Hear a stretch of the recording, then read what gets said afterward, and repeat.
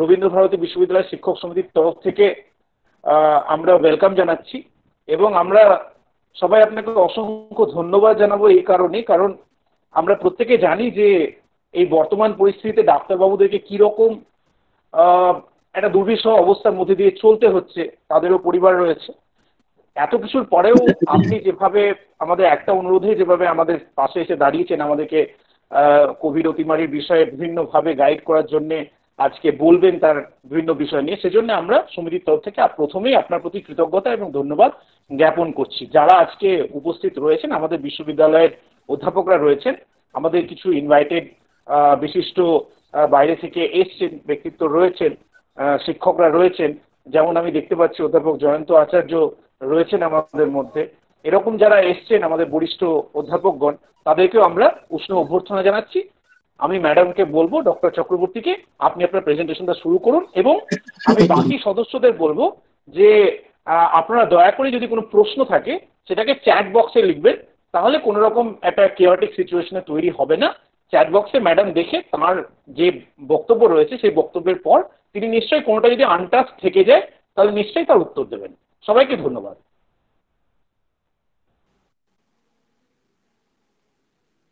অনেক ধন্যবাদ, দাদা।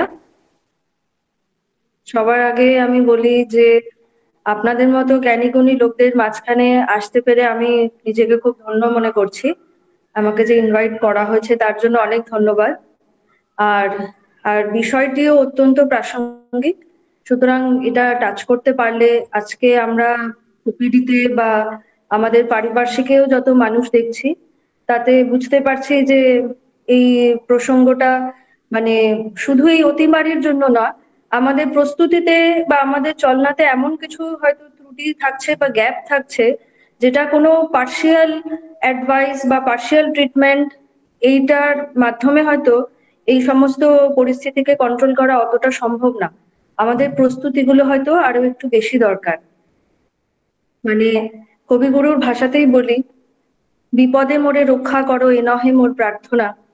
বিপদে আমি না জানো করি ভয় দুঃখ তাপে ব্যথিত চিতে নাইবা দিলে সান্ত্বনা, বহিতে সহিতে পারি শকতি যেন রয়।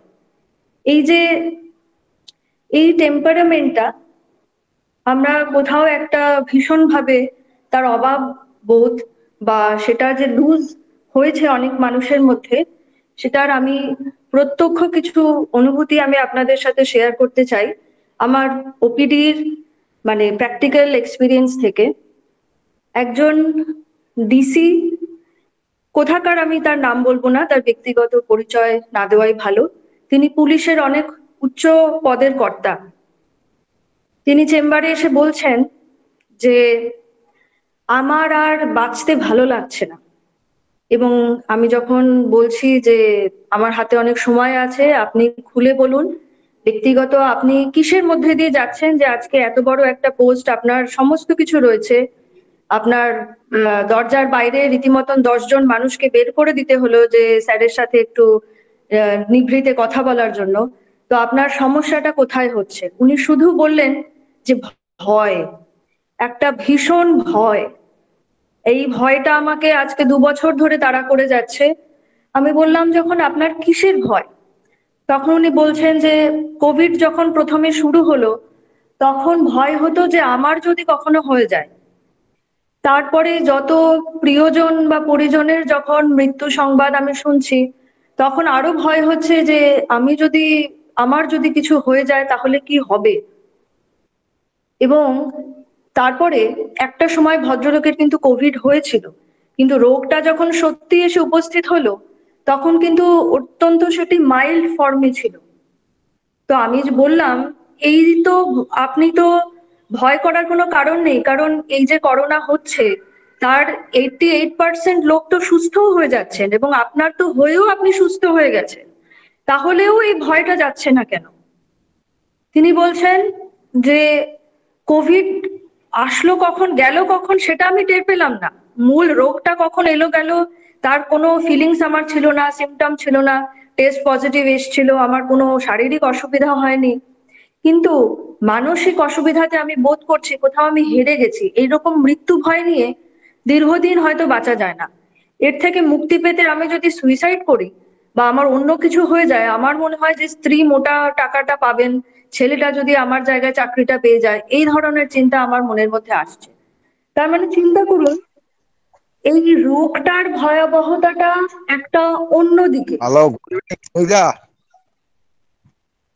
কিন্তু এর যে মানসিক ক্ষতটা যেটা তৈরি করে দিয়ে যাচ্ছে, এই যে ভীতি, মৃত্যু ভয়, অন্যের অমঙ্গল দেখে নিজের অমঙ্গলের আশঙ্কা, এটা এই ক্ষতটা অনেক বেশি গভীরে, এই উদ্বেগটা অনেক বেশি গভীরে। এবং ওনার মতন এরকম বহু মানুষ আজকে আসছেন আমাদের কাছে, যাদের মূল সমস্যাটা সোমাটাইজেশন আমরা যাকে বলি, যখন আপনার সিমটমটা দেহে কোনো রোগের থেকে বেশি কোনো রোগের সৃষ্টি করে না বা কোনো দেহযন্ত্র বিকল করে না, কিন্তু সিমটমের দরুন ফিল হয় যে কষ্ট হচ্ছে, তাকে আমরা বলি সোমাটাইজেশন এবং অনেক মানুষের এই যে বুকে চাপগত বা অস্বস্তিগত যে সমস্যাটা, সেটি বেশিরভাগই অ্যাংজাইটি বা উদ্বেগগত ভাবে আসছে। এবার আমি একটু নিজস্ব আমার পার্সোনাল দৃষ্টিভঙ্গিতে বলতে চাই পরমহংস শ্রী শ্রী ঠাকুর রামকৃষ্ণ দেবের একটি কথা ছিল যে মায়েরা কীরকম একজন মায়ের উপমা দিয়ে তিনি বলছেন যে একদিকে বাচ্চাকে দুধ খাওয়াচ্ছে, একদিকে মুড়ি ভাজছে, একদিকে সবজি বিক্রি করছে মানে একই সাথে দু তিনটি কাজ করছে, তার লক্ষ্য কিন্তু আছে তার সবজির পসরার দিকে, ওইদিকে কেউ নিয়ে গেল কিনা। মানে সংসারের কাজ সংসার থাকবে, কিন্তু তোমার মনটা থাকবে ঈশ্বরে। আবার দেখুন, স্বামী বিবেকানন্দের একটি ছোট গল্প রয়েছে, যে যেখানে নারদ একবার ভগবান বিষ্ণুকে জিজ্ঞাসা করছেন যে, মায়া কি? তখন ভগবান শ্রী বিষ্ণু বলছেন, চলো একটু হেঁটে আসি। এরকম হেঁটে আসতে গিয়ে নারদ বল, দেখছেন যে একটা অতি সুন্দর জায়গায় ঝর্ণার জল পড়ছে এবং অতি সুন্দরী রমণী দাঁড়িয়ে সেখানে স্নান করছেন। না, সেটার আগে ভগবান বিষ্ণু একটা সময় নারদকে বলেন যে, আমার প্রচণ্ড জল তেষ্টা পেয়েছে। দেখো তো আশেপাশে কোথাও জল আছে কিনা? এরকম ঘুরতে ঘুরতে নারদ যাচ্ছেন প্রভুর জন্য জল আনতে। এবং সেখানে গিয়ে দেখছেন, যখন জলধারা তিনি দেখতে পেলেন, জলধারার সঙ্গে দেখতে পেলেন যে এক অতি সুন্দরী রমণী সেখানে স্নান করছে। মুহূর্তের মধ্যে তিনি ভুলে গেলেন যে তিনি কি উদ্দেশ্যে এসেছিলেন সেই জল খুঁজতে খুঁজতে। তিনি সঙ্গে সঙ্গে তার সাথে প্রেম আলাপে নিমগ্ন হন এবং তার তিনি জানতে পারেন উনি হচ্ছেন ঋষি কন্যা। সেই ঋষির কাছে গিয়ে তিনি তার পানি গ্রহণ করেন এবং সেই কন্যা রমণীর সাথে তিনি অত্যন্ত সুখে সংসার করতে থাকেন। এইভাবে তার দুটি সন্তান হয়। দশ থেকে বারো বছর অতিক্রম হয়। এরকম কুটির বেঁধে নদীর ধারে যখন নারদ মহা আনন্দের সু জীবন কাটাচ্ছেন, সেই সময় এক ঘোর কালো ভয়াল রাত্রিতে বিশাল ঝড় আসে। সেই ঝড়ে সমস্ত তার কুটির উড়ে যায়, নদীর জল বাড়তে থাকে। প্রথমে নারদ ভয় পেয়ে তার স্ত্রীকে আঁকড়ে ধরে, বাচ্চা দুটিকে কাঁধের ওপর নেয়। প্রথমে স্ত্রীর হাত চার ছেড়ে যায়। তারপরে কাঁধের উপর থেকে একটি বাচ্চা সরে যায়। লাস্টে যে বাচ্চাটি ছিল, সেও জলের তোরে তার হাত থেকে ছিটকে যায় আর সে নদীর জলের তোরে ভাসতে ভাসতে জ্ঞান হারায়। পরে যখন তার জ্ঞান আসে, সকালবেলা সে দেখছে নদীর তীরে ভগবান শ্রী বিষ্ণু এসে তাকে জিজ্ঞাসা করছেন, নারদ, আমার জল কোথায়? সেই সময় কিন্তু নারদের হুশ ফেরে প্রভুর দয়ায় সে স্মরণ করে যে সে কি করতে বেরিয়েছিল এবং কি করে চলেছে। ব্যক্তিগতভাবে আমার মনে হয় আজকে আমরা জীবনে যে যে জায়গাতে আছি, কোথাও এই ইঁদুর দৌড়ের মধ্যে আমাদের কোথাও ভুল ত্রুটি হচ্ছে, ভীষণভাবে হচ্ছিল এবং হয়ে চলেছে। একটি অতিমারি এসে আমাদের ভীষণভাবে সেটা চোখে দেখিয়ে দিচ্ছে। শ্রী শ্রী ঠাকুর অনুকূল চন্দ্র, যিনি রামকৃষ্ণদেবের দেড় বছর পরে এসেছিলেন, তিনিও একটি জায়গায় বলছেন যে অভাবে পড়লে তবেই মন ব্রহ্ম জিজ্ঞাসা করে, নতুবা নয়। এই যে ভয়ঙ্কর অবস্থাতে আমি আরেকটি ঘটনা বলব। একটি ছেলে, সে মৃত্যু সজ্জায় কোভিডে আক্রান্ত, তার বাবা মা তার কাছে রয়েছে, কিন্তু সে সবসময় বলে চলেছে যে সে অত্যন্ত সিভিয়ার কোভিডে আক্রান্ত ছিল, অত্যন্ত সকলের প্রিয়, অত্যন্ত রিচ ফ্যামিলির ছেলে, সবাই যান প্রাণ দিয়ে সমস্ত রকম চেষ্টা তাকে করা হচ্ছে। কিন্তু তার আয়ু যে ফুরিয়ে আসছে, সে কোনোভাবে সে বুঝতে পেরেছিল। হয়তো প্রত্যেকটি সত্তার ভেতরেই বোঝার সেই ক্ষমতা থাকে। ডাক্তাররাও যেমন বুঝতে পারেন, তেমন যিনি আক্রান্ত, তিনিও ভেতরে ভেতরে বুঝতে পারেন যে সেই প্রাণ শক্তি ক্ষীণ হয়ে আসছে। যত ক্ষীণ হয়ে আসছে, তত ছেলেটি বলছে, আমার একা লাগছে। মা বাবা পাশে, ভাই বোন পাশে, আত্মীয় স্বজন পাশে। এবং সে ভিআইপি পেশেন্ট হওয়ায় কোভিড হওয়ার সত্ত্বেও তারা পাশে অ্যালাউড হয়েছিল। কারণ সে জীবনের কোনো সুখ থেকে তার সে বঞ্চিত ছিল না, যতদিন তার জীবন ছিল। কিন্তু সেই শেষ মুহূর্তে, অন্তিম মুহূর্তে বেশ কিছুদিন ধরেই সে বলতো যে, আমার একা লাগছে, আমার অত্যন্ত একা লাগছে। সবাই পাশে থাকলেও আমি মনে হচ্ছে কাউকে দেখতেও পারছি না, অনুভব করছি না যে কেউ কেউ পাশে থাকার দরকার রয়েছে। অন্তিম মুহূর্তের সেই একাকিত্ব। চিন্তা করুন যিনি আমাদের প্রাণ দিয়েছেন, তিনি কবে প্রাণ নেবেন, সেটা কিন্তু তারই হাতে। আজকে আমরা মেডিকেল সায়েন্সে অনেক কিছু চেষ্টা করে যাচ্ছি with external factors allopathy, Ayurveda ঝগড়া করছে, একের পর এক ট্রায়াল চলছে, কোনোটা খাটবে কোনোটা খাটবে না। কোনো theory one is to one plus one equal to two আমরা বোঝাতে পারছি না। কিন্তু একটা জিনিস সেই আদি সত্যের দিকে সেই কারণের দিকে কিন্তু আমরা তাকাতে আজকে বাধ্য হচ্ছি যে আমাদের সৃষ্টিকর্তা, আমরা জন্মান্তরবাদে বিশ্বাসী, আমাদের many masters many minds doctor Brian ভিসের সেই বই পড়ে জানতে হয় না যে জন্মান্তরবাদ আছে।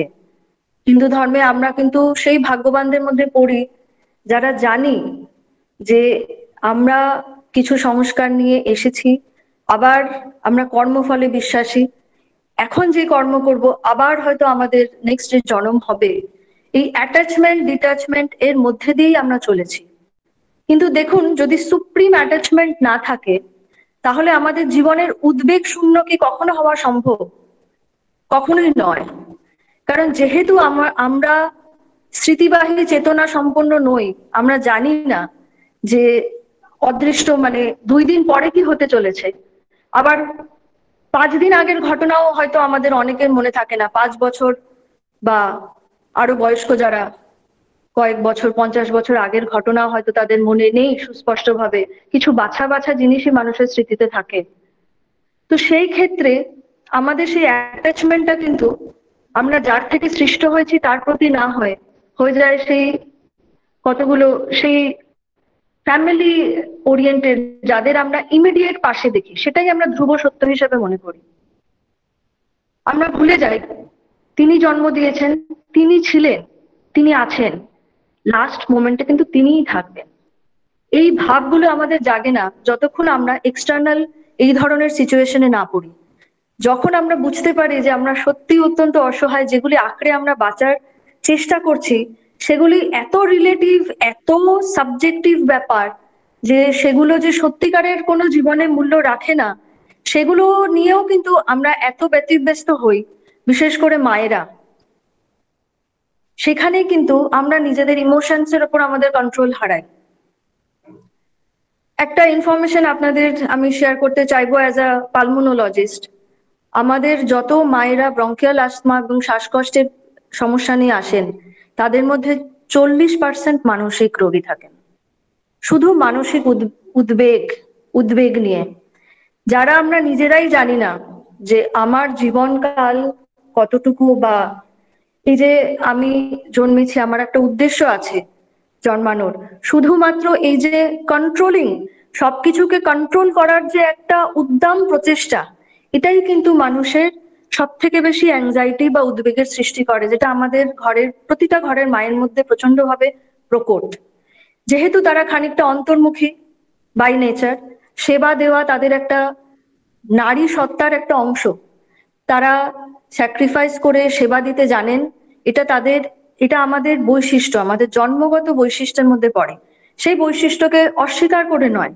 কিন্তু এই যে তাদের মাথায় থাকে ধরুন, এই যে সমস্ত কিছু তারা কন্ট্রোল না করলে পুরোটাই গন্ডগোলের এবং যেটা তিনি যেভাবে চাইছেন, সেখানে পারফেকশনের যদি একটু অন্যরকম হয়, তাহলে সেটা ঠিক হলো না। এই ফিলিংসটাই কিন্তু অ্যাংজাইটি আমি বহু শ্বাসকষ্টের রোগীকে খুব ক্লোজলি আমি তাদের জিজ্ঞাসা করে দেখেছি। এই যে তারা যেটুকু সময় হসপিটালে ভর্তি থাকেন, তখনও তাদের উদ্বেগ ঘর কীভাবে চলছে? যখন ঘরে রয়েছেন, তখনও তাদের উদ্বেগ যে আমার অ্যাবসেন্সে আমার ছেলেটা কি করল? আমার স্বামী কি করছে? আমার শ্বশুর শাশুড়ি কি করল? আমার বাপের বাড়ির কি লোক করছে? এটা আসছে কিন্তু কন্ট্রোলিং অ্যাটিটিউড থেকে। দেখুন, মানুষের ক্ষমতা কিন্তু অতি সীমিত। আর আমরা যদি না জানি যে কখন ইন্টারভেন করতে হয়, তাহলে কিন্তু অনেকটাই আমাদের হাতের বাইরে যায়, বিশেষ করে শিশুদের ক্ষেত্রে বা ছেলে মেয়েদের অ্যাডোলোসেন্সে যারা আছে তাদের ক্ষেত্রে। এই মায়েরা বা বাবারা যদি এই কন্ট্রোলিং অ্যাটিটিউড নিয়ে বাচ্চাদের যে দেখেন যে হ্যাঁ আমরা মা, আমাদের থেকে সৃষ্ট মানে কিন্তু সে আমাদের কন্ট্রোলে বা সেই মতনই তার চিন্তাধারা তা নয়। তার চিন্তাধারা তৈরির দায়িত্ব আমার। কিন্তু সে একটা সম্পূর্ণ আলাদা সত্তা। সে কীভাবে কি করবে, সেটা কিন্তু কখনোই এই যে আমাদের বাঙালি মায়েদের মধ্যে একটা অ্যাটিটিউড রয়েছে, তারা জন্ম থেকে শুরু করে বিয়ে কেন, বরং শেষ বয়স পর্যন্ত এই যে বাচ্চাদের বা তার সন্তানদের যে কন্ট্রোল করার চেষ্টা করেন, স্বাবলম্বী বা অ্যাডাপ্টেবিলিটিটা না শিখিয়ে বিভিন্ন যে দিক দর্শন, যে জীবনের বিভিন্ন দিক রয়েছে, এইরকমও সমস্যায় তুমি পড়তে পারো। এর মধ্যে তুমি কীভাবে অ্যাডাপ্ট করবে? সেই জন্য কিন্তু তাদের উদ্বেগ আরও বেশি।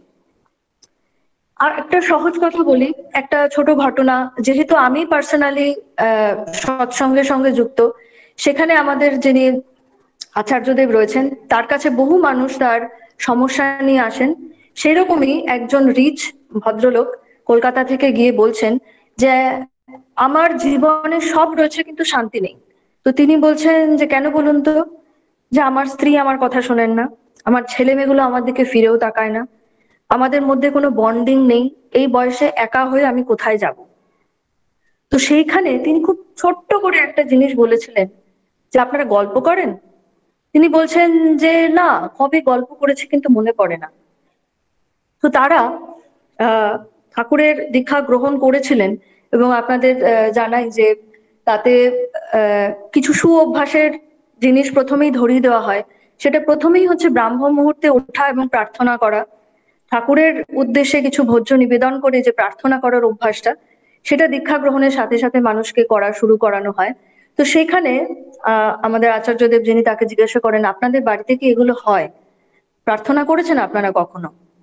ভদ্রলোক মাথা নাড়ছেন হতভম্বের মতো, কারণ একে তো কে কখন ঘুম থেকে ওঠে সেটাই তার জানা নেই। একটি বাড়িতে সমস্ত কিছু রয়েছে, তিনি জীবনে প্রচুর পরিশ্রম করেছেন, প্রচুর ঐশ্বর্য গড়ে তুলেছেন, কিন্তু ঘরের মানুষগুলো সবাই আইল্যান্ডের মতন, বদ্বীপের মতন বসবাস করছেন, কেউ কারোর খোঁজ রাখে না। তার সামান্য শরীর খারাপ হলে হয়তো কাজের লোকটা এসে তাকে ওষুধ দিয়ে যাচ্ছে। এই যে ভয়াবহ পরিস্থিতি ইমোশনাল এই যে ইমোশনাল ব্ল্যাঙ্কনেস সেটা কীভাবে ভরাট হবে? একে অন্যের সাথে কানেক্টিভিটি বাড়বে কি করে? অসহায় ভাবে তিনি যখন কোনো সমাধান চাইছেন, তখন ছোট্ট একটা তুক তাকে তিনি বলে দিলেন যে, আমি কিছুই বলব না দাদা, আপনাকে একটা জিনিস অনুরোধ করি। রাত্রিবেলা খাবার সময় সবাই মোবাইলটা বন্ধ করে হাত শুকিয়ে যাওয়া পর্যন্ত গল্প করবেন তো? যতক্ষণ পারেন, সারাদিনে কে কি করল, আপনি থেকে শুরু করুন। আপনি শুরু করুন গল্প করতে, তাহলে আপনার দেখা দেখি হয়তো আপনার স্ত্রী গল্প করছে, সেই দেখা দেখি হয়তো ছেলে মেয়েগুলি বলল, সারাদিন তারা কি করছে? এই করতে করতে এই অভ্যাসটা করুন।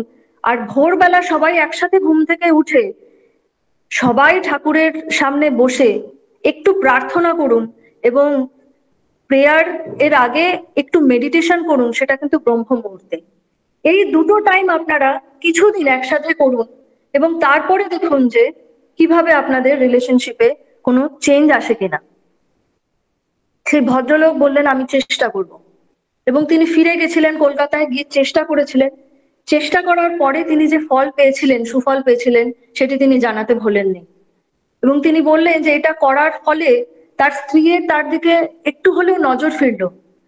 সেইটা দেখে ছেলে বা মেয়ে শিখলো যে হ্যাঁ শেয়ার করতে হয়। নজর দিতে হয়। এইভাবে তাদের যে ইমোশনাল বন্ডিং যেটা পুরো অভাব ছিল, তাই সেক্ষেত্রে অর্থের বা স্বাস্থ্যের কোনো অভাব ছিল না। আজকে করোনাকালে দেখুন, জিনিসটা হচ্ছে প্রত্যেকের একটা স্পেসের অভাব হচ্ছে। একটু আগে আমরা অত্যন্ত অভ্যস্ত ছিলাম নিজের মতন করে থাকার, যারা ওয়ার্কিং লেডি তারা বাইরে গিয়ে অনেকটাই তারা নিজের কর্মের সঙ্গে যুক্ত থাকেন মুক্তভাবে শ্বাস নিতে পারেন, বান্ধবীদের সাথে কথা। আজকে যেন জোর করে একটা মানে কেজের মধ্যে যেন একটা সবাইকে বেঁধে রাখা হয়েছে। সুতরাং এখানে যদি মেন্টাল কানেকশন না থাকে একে অন্যের সাথে, তাহলে কিন্তু সেটা একদম জেলখানায় বন্দির দশার মতনই লাগছে বেশিরভাগ মানুষের। কারণ যাদের সঙ্গে তারা আছেন, তাদের সঙ্গে বেশিক্ষণ থাকাটা কাঙ্ক্ষিত না। কারণ তাতে মনে হচ্ছে যেন স্বাধীনতার হস্তক্ষেপ হচ্ছে সেটা কীভাবে কাটানো যায়? সেটা এইভাবে অনেক ক্ষেত্রে কাটানো যায়। যেরকম ধরুন, এই যে একসাথে অ্যাক্টিভিটি আমার অনেক পেশেন্ট এখন বলছেন যে তাদের, তারা কোভিড থেকে উঠেছেন, কিন্তু তারা একটা রাত্রে ঘুমাতে পারছেন না। তারা একটা পোস্ট ট্রমাটিক শকের মধ্যে রয়েছেন।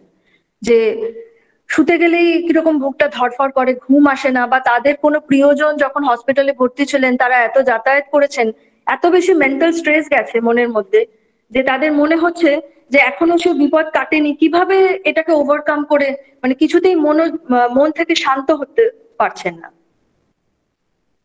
তো এখন ব্যাপারটা হচ্ছে দেখুন, যে তাদেরকে বলা হলো দু তিনটে জিনিস।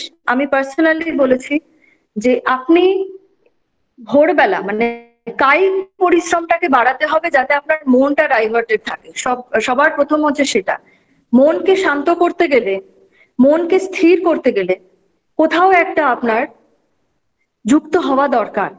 এই যে ভালোবাসার থেকে আপনার ফিক্সেশনটা হবে তা না হলে ফিক্সেশন আপনি একটা ছবির দিকে তাকিয়ে নিজেকে ফিক্স করার চেষ্টা করুন, একটা মোমবাতির আলোর দিকে তাকিয়ে চেষ্টা করুন।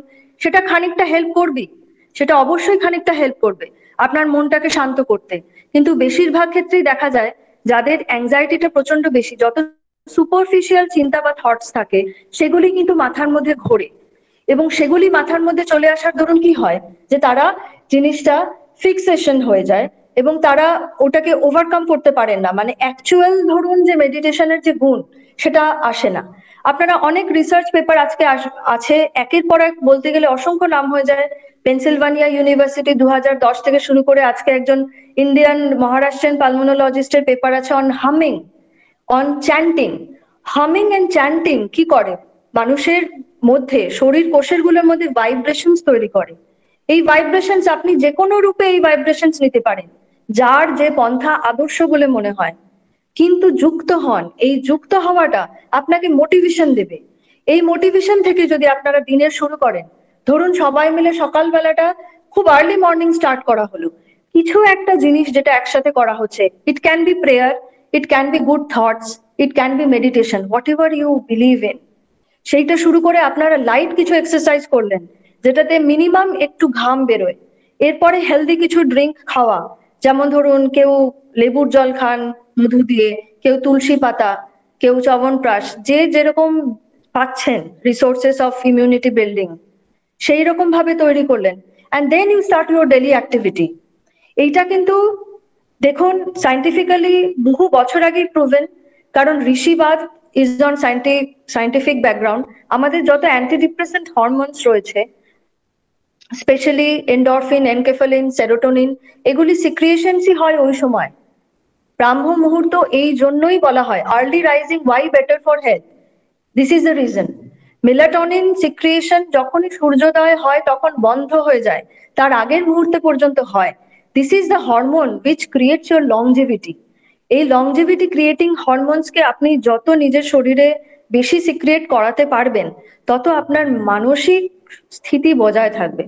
দিনের শুরুটা যদি এইভাবে হয় এবং তারপর সারাদিনের কাজকর্ম, কায়িক শ্রম যেখানে কম হচ্ছে ফর এক্সাম্পল মায়েদের ওপর প্রচণ্ড প্রেশার কাজটাকে ভাগ করে দিন এবং সবাই মিলে অ্যাজ আ সেটা মজার করে বাচ্চাদের উপর অ্যাসাইনমেন্টগুলো দিয়ে দিন যে তোমার এইটা, তুমি আজকে এই, এইটা প্রেস করবে, তুমি এটা ধোবে, এইভাবে তাদের প্র্যাকটিক্যাল ব্যবহারিক কাজে লাগান।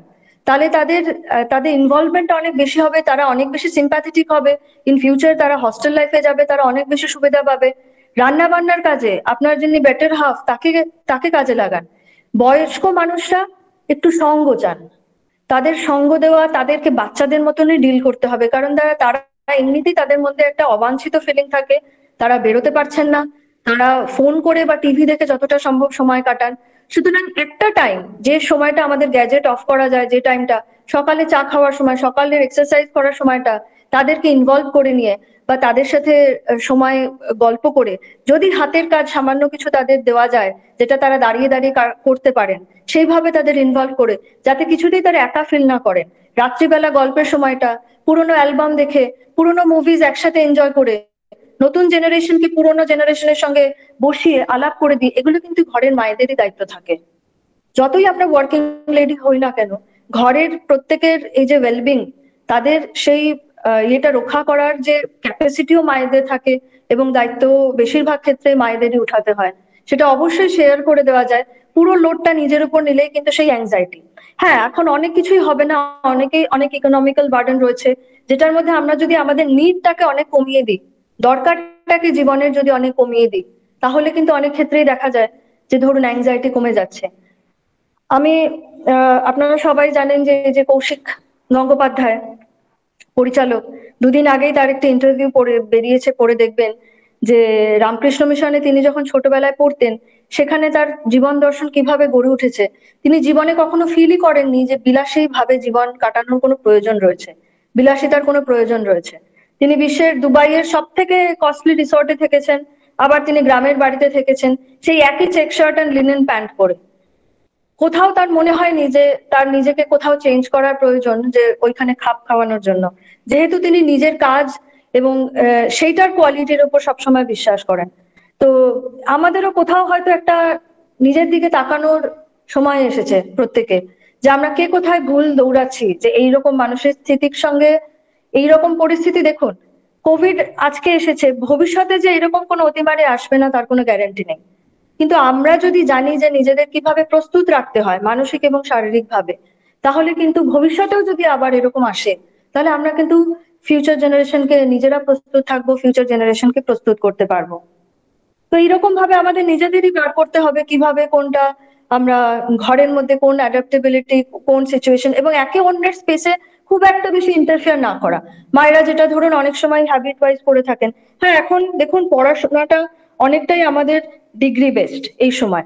কারণ আজকের পড়াশোনাটা অনেকটাই হয়ে যাচ্ছে যে কেরিয়ার ওয়াইজ কিন্তু অ্যাকচুয়াল ব্যাপার হচ্ছে এই সময় সুস্থ থাকাটা মেন্টালি এবং ফিজিক্যালি সুস্থ থাকাটা যেখানে চ্যালেঞ্জিং সেখানে ওই দিকটা যদি একটু হ্যাম্পার হয়, জীবনের অন্য দিকটা আপনি তার কাছে এক্সপ্লোর করতে পারেন যেটা সে আগে পারেনি। হয়তো বিভিন্ন গল্প বা তার বিভিন্ন শখ যেটা সে আগে সময় পেত না, সেই দিকটা তুলে ধরা। তো এইভাবে কিন্তু আমরা যদি গোল, আমাদের গোলের দিকে বেশি নজর না দিই। রাদার, আজকে একটা বিউটিফুল দিন, সেটা কীভাবে প্রত্যেকে আনন্দ করে কাটানো যায়, ছোট ছোট লক্ষ্য নিয়ে এগোই। তাহলে আমার মনে হয় যে মেন্টাল জিনিসটা অনেকটাই কাটানো সম্ভব। এবং ডিপ্রেশনটা দেখুন, মানুষের সাইকোলজি যেটা, সেটা হচ্ছে সাইনোসয়েডাল কার্ভের মতন। মন খারাপটা কিন্তু ডিপ্রেশন না। মন খারাপটা থাকতেই পারে। কিন্তু অ্যাকর্ডিং টু সাইকিয়াট্রি বা সাইকোলজি ডেফিনেশন ওয়াইজ যখন এটা আপনার পনেরো দিনের বেশি এবং আপনার নর্মাল অ্যাক্টিভিটি করতে ইচ্ছা করছে না, আপনি আনন্দের খবরে কোনো রকম আনন্দ পাচ্ছেন না, তো that is the sign of depression তো সেই স্টেজটা আসার আগে কি করতে হয়? কর্মে যুক্ত হতে হয়। যে কাজ আপনি করছেন, আপনি অ্যাক্টিভিটি বাড়িয়ে দিন। আপনার মনে অন্য চিন্তা আসছে, আপনি রান্না করুন। রান্নার মতো মানে অ্যান্টি অ্যাংজাইটি থেরাপি হয় না। আপনার শারীরিক পরিশ্রম, মানসিক পরিশ্রম, আপনার পুরো অ্যাটেনশনটা নেবে ওই কুকিং কারণ আপনি অন্য কোনো দিকে মন দেওয়ার টাইম পাচ্ছেন না। But if you see television if you are listening to music সেখানে কিন্তু আপনার মনটা অন্যদিকে যেতে পারে। আপনি ঘরের মধ্যে হালকা এক্সারসাইজ করছেন, যখনই আপনার ঘাম বেরোনো শুরু হচ্ছে that is an anti depression আপনি আর কোনো দিকে মন দেওয়ার তখন সময় পাচ্ছেন না। তো এইভাবে আমাদের নিজেদেরকে আইডেন্টিফাই করতে হবে what are the alarming signs এবং অনেক কিছু হয়তো স্যাক্রিফাইস করে, অনেক পার্সোনাল টাইম অনেক পার্সোনাল অ্যাসাইনমেন্টস এই সময় স্যাক্রিফাইস করে আমি নিজে যেরকম বই পড়ার সময় পাচ্ছি না বহুদিন ধরে। কিন্তু তাই, তার জন্য I am not depressed at all all this can be pushed away এই মুহূর্তে যেটা দরকার, বাচ্চাগুলোকে সময় দেওয়া দরকার, ঘরের বড়রা যারা আছে তাদের সময় দেওয়া দরকার। এইভাবে আমরা যদি মেন উদ্দেশ্যটা জীবনের বুঝি, তাহলে we won't feel sad because of thinking K we are sacrificing a lot we are working a lot and হ্যাঁ ঘরের পরিপাটিটা একটু কম থাকতেই পারে। End of the day that doesn't matter if everybody is happy কারণ এইটাই ম্যাটার করে আজকের দিনে। সবাই সুস্থ আছে কিনা, ভালো আছে কিনা, এবং সেটা একদিনে হয় না। আরেকটা জিনিস আমি ডেফিনেটলি মেনশন করব, সেটা হচ্ছে হাইজিন আজকে হাইজিনের এতটাই ইম্পর্টেন্স দেখুন হাইজিনটা কিন্তু একদিনে আসে না। করোনার পরে সবাই হাত ধোয়াটা যে অভ্যাস করছে, দেখবেন একটু ঢিলামি হলেই হাত ধোয়াটা ভুলে যাচ্ছে। কেউ মাস্কের বাইরের দিকটা হাত দিচ্ছেন। হাত হাত দিয়ে বাইরের মাস্কটা ধরলেন, ওটাকে থুতনির নিচে নামিয়ে সঙ্গে সঙ্গে নাক মুখ চুলকাচ্ছেন। মানে যখন আমাদের ইন্ট্রেন্সিক সেন্সটা না গজায় হাইজিন সম্পর্কে, তখনই কিন্তু এই ভুলগুলো হয়। যেরকম ছোটবেলা থেকে যদি অভ্যাস করানো যায় যে নাকে মুখে হাত দিয়ে সঙ্গে সঙ্গে হাত ধোয়া। আমি কিন্তু ছোট থেকে এইগুলি জানতে পেরেছি, কারণ আমি একটি এমন ইনস্টিটিউটের সঙ্গে যুক্ত, সেখানে ছোট থেকেই এই অভ্যাসগুলি করানো হয়। আমাদের লিভিং আইডিয়ালের সঙ্গে যুক্ত হলে এই অ্যাডভান্টেজ আমি পেয়েছি। আপনার হয়তো অন্যভাবে আপনার বাচ্চাকে শেখালেন এবং এগুলি বড়দের থেকে বাচ্চারা অনেক তাড়াতাড়ি অ্যাডাপ্ট করতে পারে। আজকে ফর এক্সাম্পল এটা এরোসল বর্ন না হয়ে যদি কোনো কিছু ড্রপলেট বা ফিকাল ওরাল কন্টামিনেশনের কোনো অতিমারি আজকে আসে, তবে কি আমরা ওইদিকে নজর দেবো? একেবারেই না। কারণ we have a colonization of bacteria living bacteria in all our body সুতরাং সেখানে যদি কারোর প্লেস ইন্টারচেঞ্জ হয়, সেখানেই একটা রোগের সমস্যা। আজকে আমরা একদম অ্যান্টিবায়োটিক অ্যাবিউজ করছি। যখন তখন আমরা স্পেশালিস্টের মানে মানে কনসাল্ট করতে পারি, ইচ্ছা মতন ওষুধ নিতে পারি, এই জন্য কিন্তু এই জিনিসগুলোকে আমরা নেগলেক্ট করছি। আজ থেকে ফিফটি ইয়ার্স ব্যাকও হান্ড্রেড ইয়ার্সও বলব না, মাত্র পঞ্চাশ বছর আগেও কিন্তু লোকের হাইজিন সেন্সটা অনেক বেটার ছিল, কারণ তারা জানতেন এই জিনিসগুলো ছাড়া তাদের বাঁচার যে ওষুধ বলুন বা বাকি ইনফ্রাস্ট্রাকচার খুবই কম রয়েছে। না, আমাদের কিন্তু সেই দিন ফিরিয়ে আনতে হবে। একটা এই মাইক্রন সাইজের এই যে আপনার ভাইরাস এসে এটা কিন্তু বারবার দেখাচ্ছে। যেরকম যে কোনো কিছু খেয়ে হাত ধোয়ার অভ্যাস, আমরা যখন খাই, মুখের থেকে আমাদের মাইক্রো ড্রপলেটস সেই জিনিসটায় যায়। ইভেন আপনি চা খাচ্ছেন, বিস্কিট খাচ্ছেন যে কোনো কিছু, আপনি একটা পার্চমেন্ট পেপার যদি মুখের সামনে রাখেন, তাহলে আপনি এক্সপেরিমেন্টটা ঘরেই করতে পারবেন। আমরা যখন কথা বলি, তখন পর্যন্ত কতটা, কত ড্রপলেটস বেরোয়। আমরা যখন সিম্পল শুধু একটা সিপ করছি জলে, তখন কত ড্রপলেটস বেরোয়। এই যে, এই জন্যই এইটা যখন বেরোচ্ছে, আমাদের মুখের স্যালাইভাতে যে ব্যাকটেরিয়া রয়েছে that are not same with our hands bacteria সুতরাং মুখেরটার সঙ্গে যখনই হাতের কন্টামিনেশন হচ্ছে, এই হাত আমি কোথায় কোথায় লাগাচ্ছি তার ঠিক নেই। সুতরাং সেই খাওয়া যাই আমি খাই, সেটা খেয়ে সঙ্গে সঙ্গে হাত ধোয়া এবং ডেফিনেটলি খাওয়ার আগে হাত ধোয়া তো রয়েছেই। নাকে মুখে হাত দিয়ে হাত ধোয়া। কেন? নাকে কলোনাইজেশন অফ ব্যাকটেরিয়া একরকম, যেটা আমাদের বায়ুমণ্ডলেই থাকে, এরকম অনেক ব্যাকটেরিয়া নর্মালি আমাদেরকে নাকের মধ্যে বসবাস করে, যেটা আমাদের জন্য ন্যাচারালি হার্মফুল নয়। যেরকম এখন ধরুন মিউকার মাইকোসিস হচ্ছে but mucors are so common যেগুলো কিন্তু আমাদের শরীরের বিভিন্ন জায়গায় থাকে, যেগুলো আমাদের সঙ্গে মিক্স আপ হয় না। এই জন্য যাদের নাকে হাত ধোয়া অভ্যাস হয়েছে, নাক ফোটা বাচ্চাদের মধ্যে দেখছেন, সঙ্গে সঙ্গে হাত ধোয়াবেন। কেউ মুখে হাত দিচ্ছে দাঁতটা একটু খুঁটে নিল। এগুলো আমরা ওভারলুক করি, আলোচনা করতে লজ্জা পাই কিন্তু এগুলোই কিন্তু জীবনের বেসিক এই যে ধরুন, সঙ্গে সঙ্গে হাত ধুয়ে নেওয়া উচিত। কারণ দাঁতের আবার ওরাল ফ্লোরা একরকম। এখান থেকে কিন্তু কন্টামিনেশন বা রোগের আমরা সূত্রপাত হয়। ইউরিন করে সেই জায়গাটা জল দিয়ে পরিষ্কার করে ধোয়া, কি লেডিস কি মানে ম্যান প্রত্যেকের জন্য, পুরুষ এবং নারী নির্বিশেষে। কারণ আমাদের ইউরিনের সঙ্গে যত সমস্ত ব্যাকটেরিয়া বেরোয়, তারা যখন আমাদের উপর সুপারফিশিয়াল স্কিনে থেকে যায় এবং সেগুলি থেকে আমাদের কাপড়ে লাগে, তার থেকে শুধু ক্রনিক ইউটিআই নয় ডিফারেন্ট টাইপের রোগ হয়। এবং অবশ্যই ল্যাট্রিন করে, ল্যাট্রিন হাইজিন যেটা, ভালো করে মেনটেন করা, সেগুলি রয়েছেই। যথাসম্ভব অন্যের বালিশ, বিছানা, গামছা এগুলিকে ব্যবহার না করা। কারণ প্রত্যেকের একটা এই যে নিজস্ব আপনার মানে ইয়ে রয়েছে মানে যেরকম আমাদের নিজস্ব অর্ডার রয়েছে, সেরকম ব্যাকটেরিয়াল কলোনাইজেশনও আমাদের বডিতে ডিফারেন্ট এগুলো যদি বেসিক হাইজিনের আমাদের পার্ট হয়, যে সবার গামছা আলাদা বা যথাসম্ভব বিছানার যে আমরা চাদর ফাদর যেগুলো ইউজ করা দেখবেন যে এই যে ফাঙ্গাল ইনফেকশন বা মাইটস বা যাদের স্কেবিস হয়, এই ধরনের যে মিক্স আপ হাইজিন মেনটেন না থেকেই হয়। তো এইগুলি যদি প্রথম থেকে বাচ্চাদের মধ্যে শিখিয়ে দেওয়া হয়, ধরিয়ে দেওয়া হয় ফিউচার লাইফে কিন্তু তারা ভীষণভাবে উপকৃত হতে পারে। তো এই বেসিক জিনিসগুলো ইয়ে করে শুধু এডুকেশন আমার লিটারেসি শুধু ডিগ্রি লাভ হয়তো জীবনে এত ইম্পর্টেন্স দিতে পারে না। এটা আমার পার্সোনাল ওপিনিয়ন অনেক ধন্যবাদ। আপনাদের পার্সোনাল যে কোয়েশ্চেনগুলো সেগুলো আমি একটু দেখতে চাই।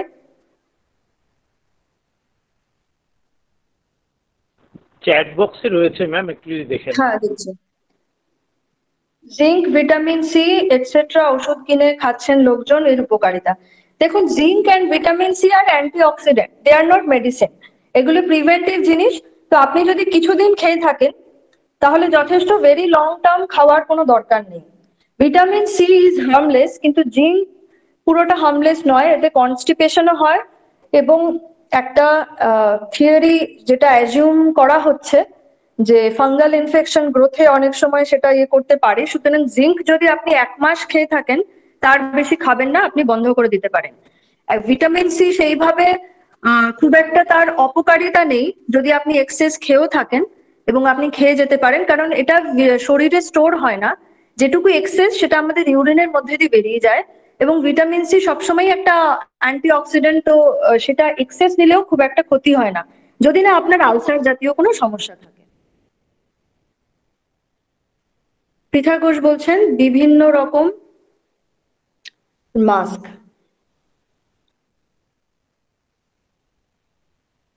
আচ্ছা।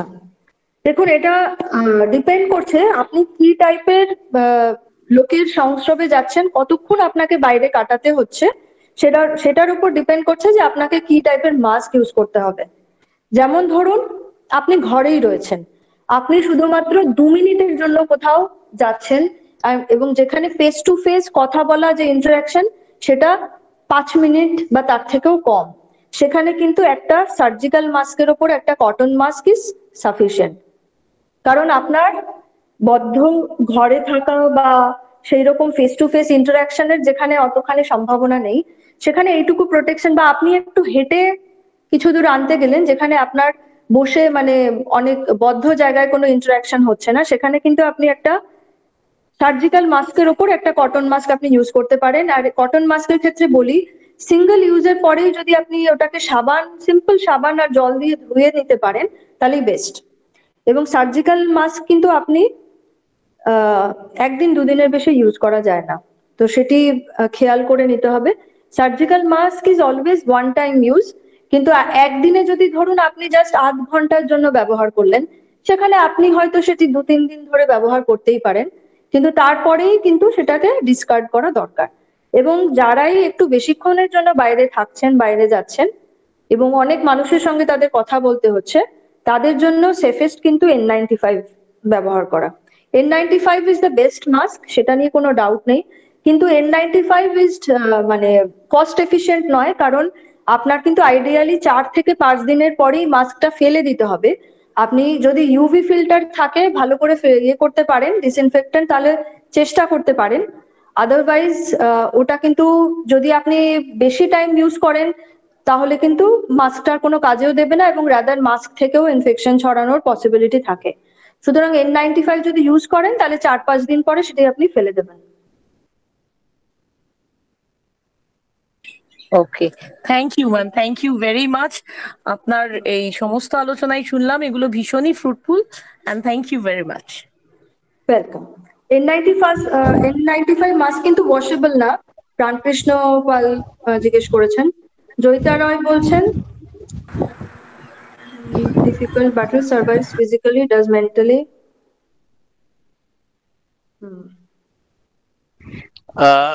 দেবু আমি কি ডাইরেক্ট একটা প্রশ্ন করতে পারি? ডক্টর ম্যাডামকে আমি জয়িতা রয় কোয়েশ্চেনটা একটু অ্যান্সার করতে চাইছি। উনি বলছেন যে অ্যাংজাইটি এবং স্ট্রেস এই যে second wave post covid complications আমার মনে হয় আমি পুরো আলোচনাটা এটার উপরই করেছি যে অ্যাংজাইটি এবং স্ট্রেসকে আমরা কীভাবে বিট করব। সেটা প্রত্যেককে নিজের রাস্তাটা খুঁজে নিতে হবে। আপনি যদি কোনো প্রফেশনালের কাছে যান, তাহলে সে অবশ্যই আপনাকে দুটো ওষুধ ধরাবে। But that is not the way to deal your life কারণ কোভিড এখন এসেছে, আপনার জীবন, আমাদের জীবনে যে আরও ইন ফিউচার এরকম কোনো অতিমারি আসবে না, তার কিন্তু কোনো গ্যারেন্টি নেই।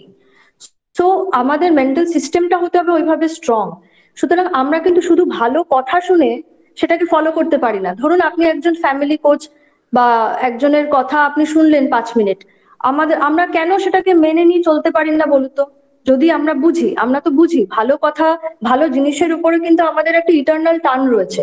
তা why we do get attracted to that আমরা তো তাহলে নেগেটিভের দিকে নেগেটিভ নিয়েই চর্চা করতাম, তা কিন্তু আমরা করি না। মানুষের সত্তা কিন্তু চায় সবসময় বাড়তে বিকামিং এর দিকে যেতে, ক্রমশ বেড়ে উঠতে, বাঁচতে। বাঁচাটা প্রত্যেকের চাহিদা, সেই চাহিদা থেকে আসে ভালোর প্রতি সেই অ্যাট্রাকশন কিন্তু সেই অ্যাট্রাকশনটা স্থায়ী হয় না কেন? বিকজ অফ আওয়ার মাইন্ড মাইন্ডটাকে সুস্থির করতে গেলে আপনাকে কারোর সাথে এমন যুক্ত হতে হবে, যার সাথে, যার প্রতি ভালোবাসায় বলুন, যার প্রতি টান বলুন বা সেই আইডিওলজিক্যাল ফিলোসফির প্রতি টানে বলুন যে আপনি আপনার পার্সিভারেন্স বা নিষ্ঠাটা আসবে করার এবং এটা একদিনে আসে না।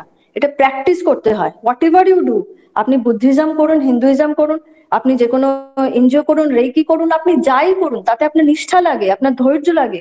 Where from that patience will come বিশ্বাস থেকে যাকে আপনি বিশ্বাস করেন যাকে আপনি মনে করেন যে ইনি লাইফে আইডিয়াল হতে পারে না বা আপনি তাকেই মেনে শুরু করুন না স্টার্টটা তো করুন আজকে স্টার্ট করুন তারপরে প্র্যাকটিস করুন এই বিশ্বাস থেকে আসে নির্ভরতা এই যে নিষ্ঠা এই বিশ্বাস থেকে আপনি আপনার পার্সিভারেন্সটা থাকবে আপনার নিষ্ঠাটা থাকবে এটা করতে করতে তবে অভ্যাসে পরিণত হবে অভ্যাসে পরিণত হলে আপনি দেখবেন যে আপনি সুফলটা পাচ্ছেন সেখান থেকে আপনার নির্ভরতা আসবে যেটা আপনি করছেন তার উপর আরও বেশি।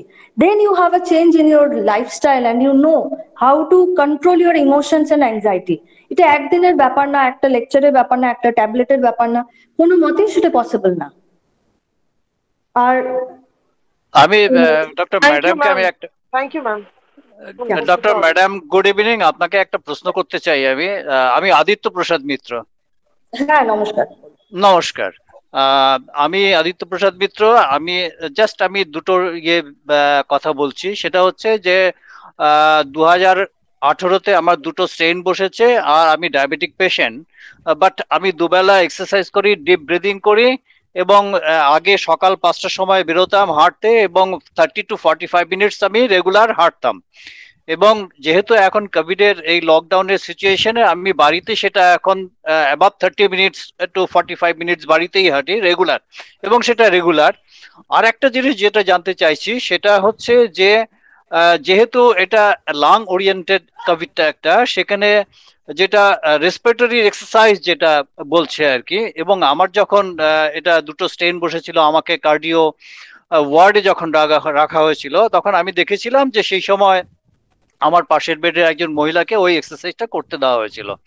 তো এইটা কি আমি করতে পারি এখন? মানে কোনো অসুবিধে আছে? আমি সেটা জানতে চাইছি। সুবিধে বা অসুবিধে বা আমার লাং এক্সারসাইজ আমি এমনিতেই দুবেলা ডিপ ডিপ ব্রিদিং এক্সারসাইজ করি ফ্রি হ্যান্ড এক্সারসাইজ করি। এটা যদি একটুখানি কিছু বলেন। হ্যাঁ হ্যাঁ দেখুন, এখন আপনি যাদের ধরুন কোভিড হয়েছে ইমিডিয়েটলি তারপরে আমরা সেটা করতে বারণ করি জাস্ট লাইট এক্সারসাইজ করতে বলি ইভেন ডিপ ব্রিদিংটাও তাদের জন্য ডিফিকাল্ট হয়ে যায়। তো শুধুমাত্র মানে প্রলংড এক্সপিরেশন মানে ইনহেলেশন অ্যান্ড প্রলংড এক্সপিরেশন কিন্তু আপনি যদি already deep breathing if you are comfortable and if you are doing free hand with that, তাহলে তো আপনি এটা কন্টিনিউ করতেই পারেন। মানে যদি আপনার মনে হয় যে সেটাতে কোনো প্রেশার বাড়াচ্ছে না, অনেক সময় কি হয় যে মানুষ উইকনেসটাকে ইগনোর করে এক্সারসাইজ করতে যায়, তো সেই ক্ষেত্রে প্রবলেম সেক্ষেত্রে ওনাকে যাদের এরকম রয়েছে, তাদের একটু কনসাল্ট করা লাগে। বাট ইফ ইউ সি কি your daily activity is fine মানে in spite of doing all the free hand and doing exercise you don't have any kind of chest tightness or chest pain you can easily it's good that you can do it and you should continue এবং এখানে আরেকটা কথা আপনাকে just জানিয়ে রাখছি এই যে আমি ফর্টি ফাইভ মিনিটস হাঁটছি ওয়াক করছি এবং বেশ জোরে এবং তারপরে যখন আমি অক্সিমিটারে আমি দেখছি সেটা আমার নাইনটি নাইন আসছে অক্সিজেন স্যাচুরেশন আফটার এটা। Thank you thank you madam thank you thank you আপনি আপনি শুধু এটা খেয়াল রাখবেন যে আপনার উইকনেসটা যেন না বাড়ে। কারণ অনেকে এক্সারসাইজের লিমিটটা না করতে পেরে তাদের উইকনেসটা দেরিতে হিল হয়। পোস্ট কোভিড যে মায়ালজিয়াটা থাকে আপনার মাসেল উইকনেসটা খুব বেশি থাকে। এই মাসেল উইকনেসটা অনেক ডিলেড হয় না আমার কোভিড হয়নি আমার কোভিড হয়নি fortunately. You don't need to worry then at all. না সেটাই আমি জিজ্ঞাসা করলাম যে আমি যে এক্সারসাইজগুলো করছি এবং আমার কলিগ. বলুন। না না কোভিড হয়নি বাট ইউ আর ডায়াবেটিক অনেক সময় ডেফিনেটলি হ্যাঁ অনেক সময় এরকম হয় যে ওভার এনথুসিয়াস্টিক কোনো কোনো মানুষ থাকেন যে তারা এমন এক্সারসাইজ করছেন যে যেটার থেকে তাদের মাসেল পেন হচ্ছে এরকমও আমরা দেখছি কেসেস তো সেই জন্য আমি জাস্ট অ্যাজ এ মানে ওয়ার্নিং বলছি যে you have to understand your limits and সেইভাবে আপনি বেশি স্ট্রেস না দিয়ে যদি করেন তাহলে সেটা তো খুবই ভালো। And you just continue that okay thank you madam thank you welcome Ashis Sharma একটা প্রশ্ন জয়ন্ত আচার্যদা বলছেন যে আহ, আমি হয়তো এই জিনিসটা বলছি না যে faith is the only remedy no need to fight the virus medically or psychologically it sounds too sarcastic though তো যাই হোক, দেখুন, সেটা কথা নয়। আমাদের যা যা করণীয় মেডিকেলি সেটাও আমাদের করতে হবে and psychologically we have to do but the psychology একটা পার্ট কিন্তু ফেথ আপনার, আপনি আজকে আপনাদের মেডিকেল সিস্টেমের ওপর ফেথ আছে বলেই না মানুষ ধরুন হসপিটালে যায় বা যারা, যার উপর যার ফেথ রয়েছে, যিনি আয়ুর্বেদিক ওষুধ খান, যার ধরুন বিশ্বাস নেই, হয়তো এমন কোনো মানুষ নেই। কারণ কারণ না কারোর ওপর আপনি কোথাও না কোথাও জীবনে বিশ্বাস করেছেন। সেটা আপনার মা হোক, বাবা হোক, বন্ধু হোক, আপনার কলিগ হোক। এবং এটা ছাড়া ইভেন আজকে যে আপনি বাড়িতে আপনাকে যে খাবারটা দেওয়া হচ্ছে, সেটা যে আপনি নিশ্চিন্ত মনে খান, সেটা আপনার স্ত্রীর ওপর আপনার বিশ্বাস আছে বলে। সুতরাং ফেথ নেই, এরকম কোনো মানুষ হয় না। সেটা আপনার কোথায়, কিসের ওপর that decides your lifestyle your ideology and everything তো সাইকোলজি কোভিড এর সাইকোলজিক্যাল মেডিকেল জিনিসটা আমাদের ভালো করে জানা হাইজিন মেনটেন ছাড়া there is no other way of prevention যতই আপনি গাদা খানেক যাই খান, আপনি ইভেন আপনারা দেখছেন যে অনেকে বাবলস এর মধ্যে থেকেও দে আর গেটিং ইট সুতরাং hygiene is the main stay hygiene strict hygiene এবং হাইজিনটা মেনটেন করতে গেলে কিন্তু এই নিষ্ঠাটা লাগে। এই নিষ্ঠাটার জন্য কিন্তু এই যে পেশেন্সটা সেই পেশেন্সটা আপনার আসবে কোথা থেকে? অফকোর্স আপনার মেন্টাল স্ট্রেংথ থেকে। So you cannot deny it madam আমি ইন্টারভিউ করছি। আর আমাদের হাতে একদম সময় নেই। আমরা দুটো প্রশ্ন দেখছি। আমি আপনাকে যে সাম আপ করে দিচ্ছি। একজন বলেছে নিউজ পেপার সেফ কিনা? আর একজন বলেছে যে এই যে টেস্টগুলো হচ্ছে এই টেস্টগুলো কতটা রিলায়েবল সেই দুটো নিয়ে আমরা আজকে শেষ করব। টেস্ট তো আপনি যে কোনো গভর্নমেন্ট রেজিস্টার্ড ল্যাব বা যেখানে দেখছেন যে একটা কিউআর কোড জেনারেট করা হচ্ছে, সেইখান থেকে আপনি টেস্ট করান। র্যাপিড অ্যান্টিজেন টেস্ট ইজ মানে আপনার it is a specific but not sensitive মানে র্যাপিড অ্যান্টিজেন টেস্ট যখন পজিটিভ আসে, তখন it is definitely positive covid সেটা আপনি যেখান থেকেই করান।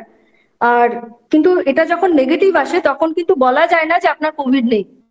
সুতরাং একটা কোয়েশ্চেন থেকেই যায়। তো it is always better to do the gold standard RTPCR test এবং আপনি সেখান থেকেই করালে ভালো যেখানে ওরা একটা কিউআর কোড জেনারেট করে আপনাকে একটা রেফারেন্স আইডি দিয়ে তবে রেজাল্টটা দিচ্ছে। Not hand written not anything else তো সেটা আপনার খেয়াল করে সেখান থেকে টেস্ট করালেই হবে।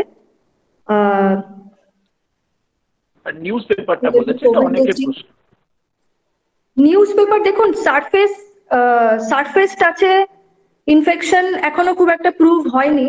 তা পসিবিলিটিস আর ভেরি এটা স্টিল এয়ারবোর্ন সুতরাং সারফেস কন্ট্যাক্টের ভয়টা অত্যন্ত কম।